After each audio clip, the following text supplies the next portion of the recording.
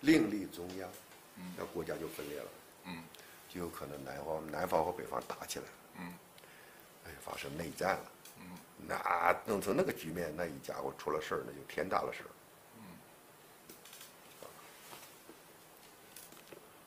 那那那个那就厉害了。那就林豆豆就避免了，对啊，避免了。所以他功劳天大。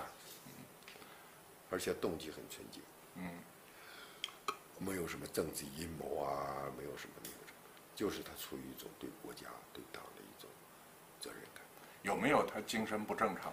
那个时候应该说还正常，嗯，那个时候还